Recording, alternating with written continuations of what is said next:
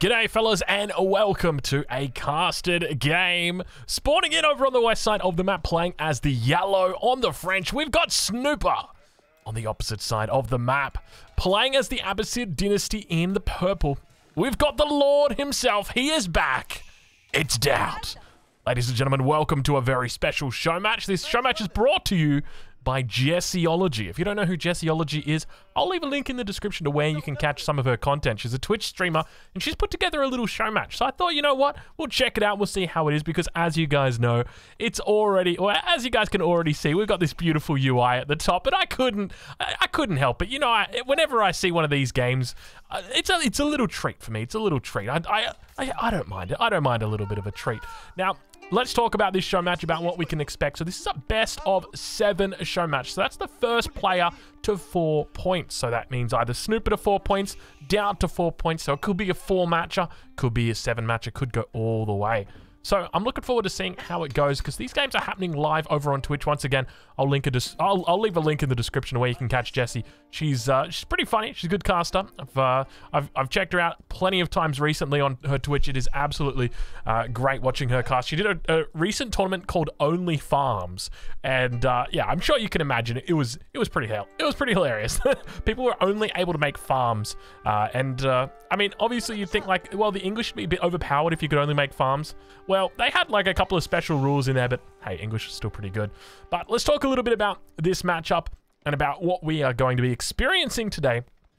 So we got Snooper on the French, we got DauT on the Abbasid Dynasty, and Abbasid Dynasty, a civilization that, I mean, uh, underrated. I will say that much. Not underrated, but people sort of, if you were doing a tier list for the Abbasid Dynasty, you'd probably put them on like maybe B tier, maybe maybe C tier, that kind of range but they seem to be popping off a little bit lately. They don't really have any bad matchups. They match up very well against the civilizations that have got high pick rates. So obviously French, they've got a good win rate against. Abbasid Dynasty uh, do quite well against the Holy Roman Empire as well. So these two civilizations I mean, if, if, if, a lot of, if a lot of people are picking the French, a lot of people picking the Holy Roman Empire, then Abbasid Dynasty, you know, they should be a bit better because more people are uh, are playing those two civilizations. And we do see uh, quite regularly that Abbasid have a pretty strong matchup against the French. So I'm looking forward to, to seeing how it goes today. So the key factor here is going to be the phalanx upgrade for Spearmen. It just makes them a little bit stronger when it gets to those feudal age fights.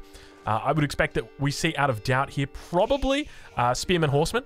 Uh, it might be something different. It might be something different, uh, but who knows? Who knows? Uh, we've got the age up coming through. It's going to be the economic wing over on the other side of the map, though. For Snooper, it's going to be the School of Cavalry. No surprises there. I would expect from Snooper that we're going to see a mill dropped down and a wheelbarrow researched in the transition period, and that we would also see a knight or two come out after uh, after that age up.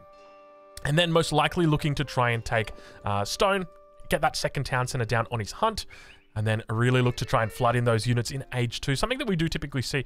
Now, obviously, we're on the new patch as well. One thing to remember is that on this new patch, Rams are stronger than they used to be, so don't be surprised if we see these two guys fight it out in feudal for a long bloody time. I wouldn't be surprised at all, but we see the mill going up now for DauT.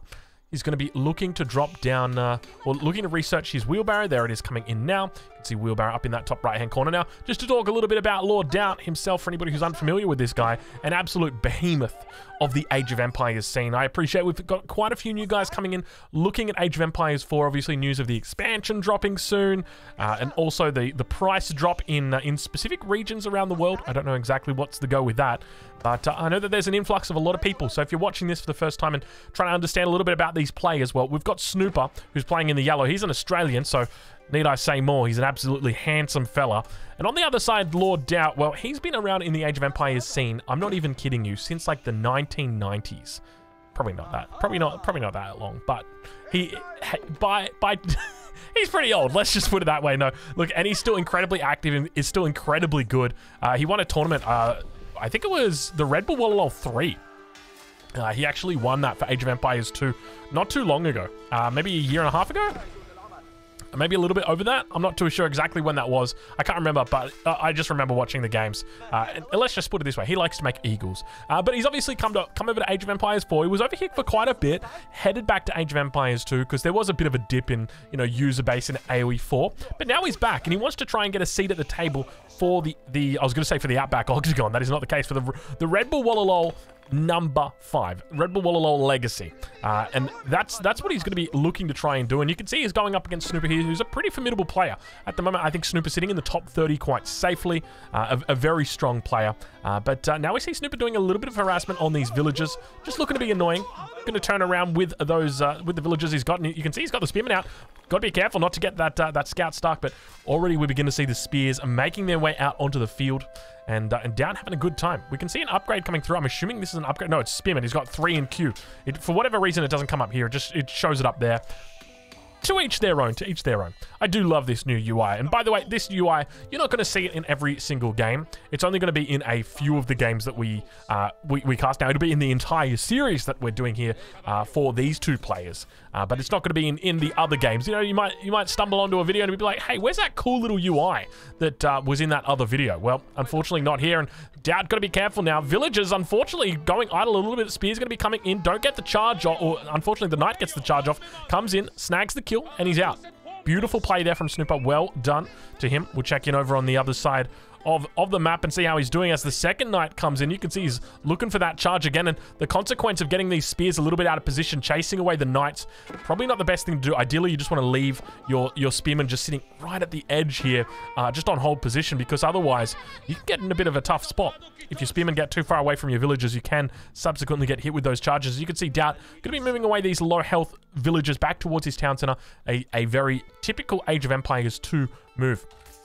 But now we can see Snooper going to be picking up villagers on that second, or for that second town center. He's going to be looking to go into the stone. He's just picked it, or he's just got two Royal Knights. So as I suspected, it would just be two Royal Knights. It's about where you want it to go. One Royal Knight, very easy to repel with the spears, but the two, that's where things start to get hard because now you can see that that villager should have gone down, but I think he, he didn't click it in time. So you, you got to, it, it's a little bit weird. It's a little bit weird, but essentially you can't, uh, you can't two shot instantly. You have to do your charge, move, and then get your attack off, and that way you can do it. But now another villager going to be going down. Snooper just being relentless over on the base of DauT. DauT having a little bit of trouble this early on in the game. Snooper doing a great job to just keep the Abbasid player in his base, but at the same time you can see, hold, hold on a minute, hold on a minute. We've already got 300 stone taken off this bad boy. DauT, what are you doing with that? Don't tell me you're going for 3 TCs. 3 TCs, look, it's probably a bit greedy, but I'm not going to say I don't like it. I'm There's a lot of double negatives in there. Actually, probably only one double negative in there. Uh, but it looks like it's just going to be the 2 TC play. He does pull the villagers back, so might just be going for arrow slits. May have just not been paying attention to the stone. Realized, oh, a little bit too late. But now Spear up to the north. Going to be looking to fight up against the Royal Knight. Should be able to get the kill here. One more shot should do it does indeed get the kill. Very nice trade there, Snooper. Unfortunately, falling asleep at the keyboard. Not something that we that we regularly see. Still got a couple more knights back here. We do see the second town center coming down on the hunt as expected. And this is going to power him up. Going to make sure he's got plenty of resources here to get this attack going up. But he's gone for a second range this early on in the game. Very curious. Typically, you'd, you'd normally see a second stable out. You just won't have the wood economy to support this unless you go for that double broadaxe, which he hasn't gone for just yet. So I would expect that we see that double broadaxe out a little little bit sooner rather than later.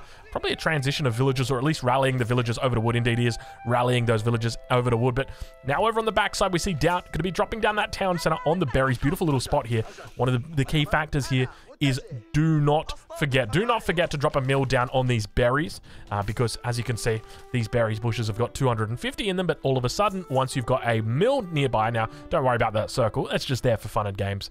It, it's just there to, you know, to represent it. But now, now these berry bushes 350 out of 250. I know it's a little bit weird. It's a little bit wacky. How can something be 350 over 150 uh, over 250? It doesn't make sense. Well, look, it ain't the first thing. It ain't the last thing to not make sense in Age of Empires 4. That is definitely going to be the case.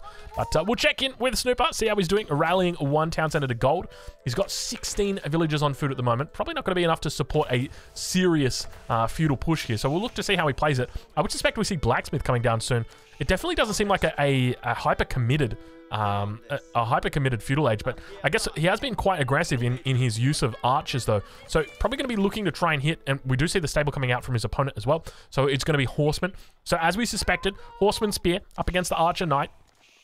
Very typical in the, in this matchup, it, what you would expect to see most of the time. And now a second stable going to be coming out, and this is what you've got to be careful of, because for Snooper, his defense, it's all about making sure his archers stay alive in large enough numbers that he can one-shot the spears. As soon as he's unable to one-shot the spears, that's when he's going to have some trouble. So one of the key factors here for Snooper is mixing in his own spears as soon as he can. So even at this point in the game, I would be saying, hey, Snooper, throw down a barracks. You throw down a barracks, and that's when things start getting a little bit sour for the Abbasid player. That's where you start to have a bit more of advantage because you've got the Knights. And the Knights are really what are going to leverage that because the Knights don't care who they're attacking. When you've got a million units and Knights are attacking something, that's great because the Knights have got a really high base damage. They're not specialized. You take a look at the Knight. It does it, it does 20 damage, full stop.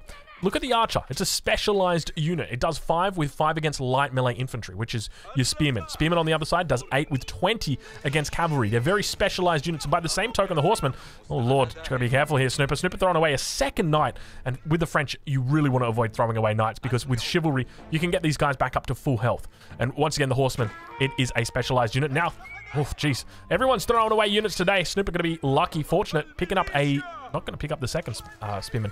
Oh my lord, look at the spears that we've got out now for DauT. This is a beautiful number of spears. Uh, unfortunately, doesn't seem like there's a lot here to protect the archers. This is going to be difficult for Snoop, but DauT going to be looking to try and engage. Does a great little screen. Unfortunately, gets skewered over on that position up against the spears. He's going to try his best to pick them up, but unfortunately, there's not enough archers here.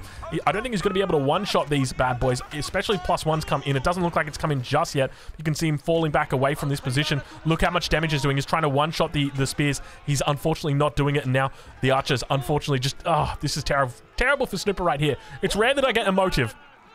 But I can't help but feel like he may have overcommitted a little bit too early. And this is part of the reason why I, I do like it going for an early second stable. It makes a lot of sense in this matchup because you're able to uh, escape. In the event that you overcommit, you can just escape with your knights and you get out and you've still got something to show. What does Snooper have to show right now? He's got two knights one of which is about to die. Things not looking good for Snooper. Not at the moment. Snooper not on form today. This is not good, Snoop Dogg. you got to pick your game up right now, son check back in over with DauT and see how he's doing. It doesn't look like he's gone for any more of a second town center, or third town center, I should say. Second one already down. He's going to be adding in more houses. We'll take a look and see how far he is along that House of Wisdom uh, Golden Age. He's at 16 of 30 at the moment, so about halfway through. I suspect he's going to be looking to connect this town center to the network. Actually, does he have all of this connected to the network? It looks like he does. So make sure you've always got those buildings connected to the network. We can see he's done a great job so far in just connecting everything up. But now the battering ram going to be coming in. Remember, the Abbasid dynasty do get siege engineering for free. You don't actually have to research it. It's already researched. In fact, you don't even need to build a blacksmith. If you take a look at the at the French as an example, you actually have to build a blacksmith to get their free uh, melee attack upgrade.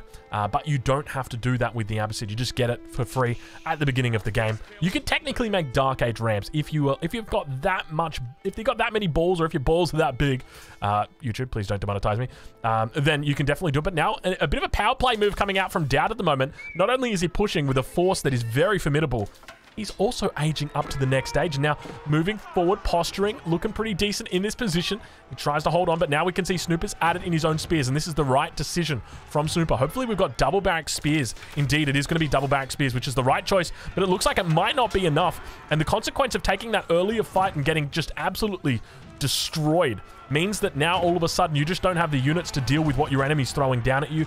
Unfortunately for Snooper, he's going to have to give up this second town center if he wants to if he wants to stay in the game. And that's going to be a, a really sad factor. It makes it difficult for him to actually win from this position because now almost guaranteed he's going to be losing this second town center or his army. He has to choose one. And unfortunately, it looks like it might even be both. Villagers turning towards the battering ram, looking to try and take it out. They're always going to be able to repair up that town center. Melee units just completely surrounding the remaining units here of Snooper. He's going to try his best to keep his head above water, but things not looking the prettiest for him. Fortunately, he manages to keep his head above water for now. Does save the town center as well. Keeps a fair amount of his army, but obviously, DauT. He's thinking about other things. He's thinking, well, how about that castle age, boys? And indeed, how about that castle age? Outpost in the center of the map. Looking to provide line of sight. Mill coming down as well. Looking to try and take advantage of those berries. Keep in mind, with the Abbasid, you always want to be throwing those down. And now we see what we would expect to see in this matchup. Mass Spearmen going to be coming out. Mass Spearmen Men at Arms by the looks of it. Uh, so plenty of barracks coming down. So there's going to be the second as well as the third barracks coming down for DauT now. DauT looking very formidable. The fact he's been away from Age of Empires 4 for so long and just strolls back in. I think he strolled back in, in within the last week and he's just looking this good. It is impressive stuff. All right, well, we'll take a look and see what upgrades come through for the way of DauT. We can see over on Snooper's side, he's going to be going for a lot of economic upgrades. We see double broadaxe coming in, horticulture coming in, forestry coming in, and specialized pick also coming in. He's also picking up that plus one ranged armor, looking to try and get that iron undermesh. But uh, it feels like it might be a little bit too late, um, just because typically in, in this matchup, I mean, Iron Undermesh, kind of irrelevant in the early game, and then once your enemy's up in Castle, well, they're not really going to be focusing that much on ranged units, are they? But we'll take a look and see exactly what we've got coming in, and you can see DauT, dropping down a huge amount of lances and Spears. He's just going Lancer Spear composition, a really smart composition uh, in this matchup. It just makes so much sense. Very difficult to deal with as well, uh, because when the French player is, when you got when you're playing as the French, think about the way that you're microing, right? It's your knights and your archers, and you're you're kiting backwards. Your enemy moving forwards, you're kiting backwards the whole time. Nice little raid in here. One villager going to be going down. You're trying to pick off the spearmen, but at the same time, your archers are getting killed by the lancers, and the lancers are able to keep up with the knights. And the spearmen, they're just running non-stop. They're just running you down, and they've got pretty high speed, throwing their charge as well. So they've got 1.25 movement speed, throwing the charge, and you're talking about 1.5 movement speed. Like, the, these units are pretty darn good. Villager does go down. DauT sitting on 66 villagers. Snooper on 63. So I don't know whether he had a little bit of idle time or may have lost a few villagers over in the in the, the tassel that happened a little bit earlier. But Snooper looking to commit to age 2 at this point in time. Adding out a few more outposts up towards the north. Raid going to be coming down over on the south side. You can see that he's been gathering up some stone. A little bit of a sneaky third town center perhaps for Snooper. But now more units moving across the map. Exactly what he needs to do. Raid going to get cleaned up. Trying his best to hold on those knights, getting some decent charges off. And now at the same time, units over on the on in the backside of Snooper's base going to get taken out. Veteran Spearman through. This is going to push the uh, the units, or the uh, rather the health of the veteran spearman up to 110 with the plus one ranged armor and plus two coming in. That means they're taking eight damage a shot from the archers. So it means that the archer number, so you can see 13, I don't know if we've got any good mathematicians here, but 13 times 8, it ain't enough to kill 110 health with 2 ranged armor. You do not one-shot these spears, and that's why it's so important to get up to the castle age here. Snooper going to be looking to do that. He's sitting on 106 population at the moment compared to DauT, who's on 108. They're looking to even it up, but now that second town center going to be under attack again. 69 villagers for Snooper, 70 villagers for DauT. Now, if Snooper's, Snooper's playing this right, he'll be looking to go for the Royal Institute, and that's going to be the case. Royal Institute coming down. Definitely the right decision, but he, he appreciates there's just way too many units here for him to really challenge at this point. He needs to keep making spears and looks to try and get that look to try and get that veteran upgrade as soon as possible. Maybe even mix in some crossbows. It could be smart for him to do, but he does lose that second town center, a consequence of that initial battle. It all goes back down to that initial battle, that little bit of an overextension. Remember when Snooper looked to try and put an outpost down over here? He pushed forward with his archers, pushed forward with his cavalry, and unfortunately, he got, well, how do you say? Rinsed. He got completely and utterly rinsed. Uh, but uh, he's looking to try and get that age up through now. I'm curious what direction he goes, but I would suspect he goes away from cavalry. Just when, when you combine the phalanx upgrade here for the veteran spearman, uh, in addition to, to just having veteran spears, it makes it so damn difficult to deal with. And now those spears going to be moving out for Snooper. He's got a pretty decent number here. Tries to hold on a little bit. We're going to see if he gets those upgrades coming through. We'll be looking for them at the top of the screen. The spearman looking to hold in underneath the tree line for the moment. Scout going to be coming in, dedicating itself off to the people, the, the people of his, his, uh, his nation. But uh, huge mass right now of these Lancers. The key factor here is that you don't want your spears fighting against the Lancers. You need your spears, or rather, you don't want your spears fighting against the spears. You need them to be poking the Lancers, and if they're not, it can be a terrible outcome for you. But it looks like Snooper holding on a little bit on, a longer on. We do see the veteran uh, veteran Royal Knights could be coming through. He's looking decent, but the spear numbers here not looking terrible. We do see more reinforcements coming in for DauT over from that west side, or rather east side. Now, unfortunately, a little bit of a cleanup going to be coming through. This is not looking good for Snooper. The town center was getting worked on by that battering ram. Villager's going to be able to repel it and take it down. They do a decent job of cleaning it up. A single sheep carcass remains underneath the town center for Snooper at this point in time. I don't know if that's going to be what he needs, though. Arbitratry eh, finally coming out for Snooper. Looking to hold on a little bit longer. But unfortunately, there's just so much cavalry coming in underneath this town center. He's got it everywhere. Now forward keep. This, I tell you what, it's rare that I say these things look doubtful, but at this point in time, I've I have no doubt that this keep is getting up. Whether he brings one villager, whether he brings 10. We'll take a look and see how many he's got coming across the map because I suspect it may be a small army of villagers. We see nine of them moving across the map. There is no doubt in my mind that this keep is getting up. And that's going to be the nail in the coffin for Snooper. As soon as he sees those fortifications going up, with the amount of units that are sitting down here, I suspect it's just going to be good game for him. He'll, he'll just tap it out. He'll throw the tower straight away because th there is no way that you come back from a keep. The, why is this keep so strong? This keep is so strong because it sits on the production. Right now, Snoop is staying alive because the production here is allowing his units to come in and bolster. But as soon as that keep goes up, the production from here no longer comes through. And the keep foundations are going to come down, dropping on that position. Snooper suffering a little bit of a raid over towards that west side. And DauT looking in, like an increasingly uh, good position. And Snooper struggling to keep his head above water as the Spears clean up his units and good game gets called. With Snooper tapping out, it is going to be DauT taking the first game in this series. Fellas, if you've enjoyed this one, make sure you check out Jessieology. I'll leave a link in the description of where you can catch her. Absolutely great caster. And we'll catch you guys in the next one. Thank you for watching.